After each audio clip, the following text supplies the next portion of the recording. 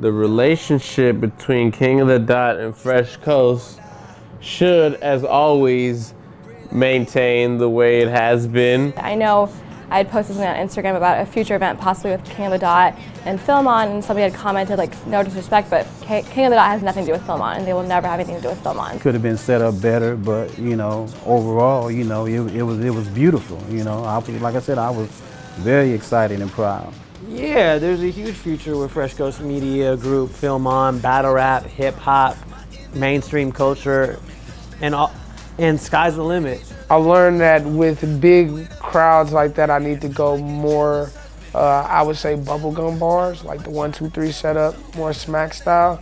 Uh, versus doing the intricate stuff. I was at a point in my career where people was kind of doubting who Big T was, and the, my legacy people was trying to tarnish.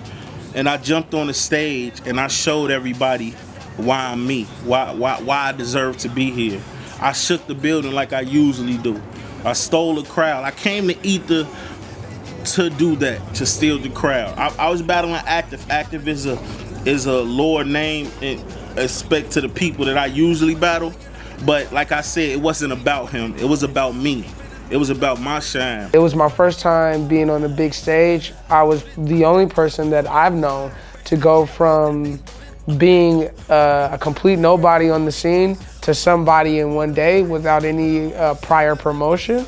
So um, yeah, that that a lot of people weren't sensitive to that, and I know it's you know I talk I talk big, so I understand when people may not want to be a little bit lenient with me, but I just thought people would investigate the bars and it, it, it, never really happened. People didn't care. What the hype, whatever the hype created, that's what everybody pretty much ran with. My advice for next Ether is definitely have some stronger um, production, have some stronger um, heads in there that's getting things flowing and getting the process moving and um, just be a little bit more professional with the battlers. Make sure that the budget is there before you agree to certain battles. Get a team you can depend on.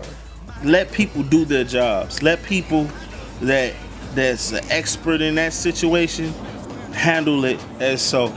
You know, don't don't don't give nobody the position and then take it away from them. I think that FilmOn and the Fresh Coast Media Group definitely have a chance to um, to fix their relationship and to represent you know battle rap better for the communities. You need a team of people you really can depend on. You know what I'm saying? Sometimes we get blessed with opportunities so quick that we have to, it's like, yo, this is the green light, and you kind of got to put people in there just to make things work for the minute. And sometimes they're not steady pillars, you know. You have to replace them eventually. So I think that's what we experienced this time, is that some people just weren't steady pillars. And next time, if we get that ahead of ahead of schedule and get everybody locked in, who's definitely gonna be dedicated to the culture and building the brand, then it should be successful. I think that needs to be sharper. Everything needs to be more on point and more professional, definitely. At the end of the day, most of us have become friends over the years from working together or even hanging out together um, for five years. That you kind of you become friends and you definitely want everyone to feel comfortable and feel happy. You know, just because this event didn't necessarily go completely according to plan, we still hit the world, you know, urban, the urban culture, mainstream hip hop with a big impact. Hopefully Ether 2 will be a fresh start for battle rap in general. And you're gonna see it Ether 2, and that's just part of everything we got going on. So yeah, at the end of the day, you know, things don't necessarily go perfect at the beginning, but we made it make sense, we handled it, and we persevered, and we ain't going nowhere. We have ups, we have downs, but we feed off each other. Learning from this Ether One experience, I would definitely make sure everything's in writing, including budget, including the basic requirements that these talent need, whether it's like a business class flight or a certain star hotel. I'm surprised we, you know, did what we did. I learned at Ether that how big battle rap really is.